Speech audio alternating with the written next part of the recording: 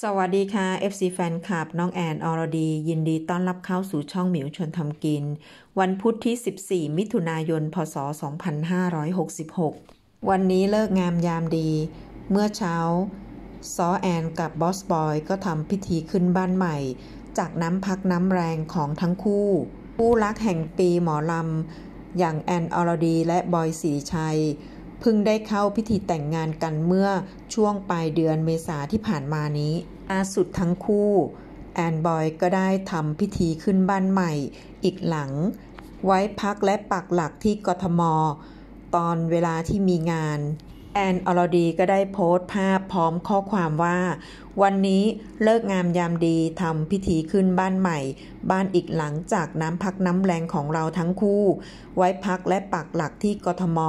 ขอบพระคุณทุกๆ ความรักความเมตตา และกำลังใจจากทุกๆท่านนะคะแฮชแท็กบ้านใหม่แฮชแท็กแอนบอยแฮชแท็กบ้าน AB ส่วนบอยสิริชัย ก็ได้โพสต์เช่นกันค่ะว่า เพราะแรงผลักดันของพี่น้องแฟนคลับที่ให้การสนับสนุนขอบพระคุณครับ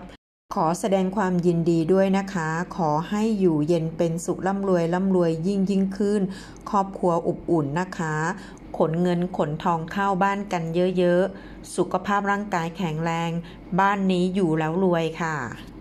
หลังจากทำบุญเสร็จนะคะ วันนี้ซอแอนก็ลุยงานต่อเลยค่ะ วันนี้ซอมางานร้องเพลงที่ลงเล่าตะวันแดง แถวพัฒนาการซอยเก้าแขวนสวนหลวงนะคะกทมซอขึ้นเวทีประมาณ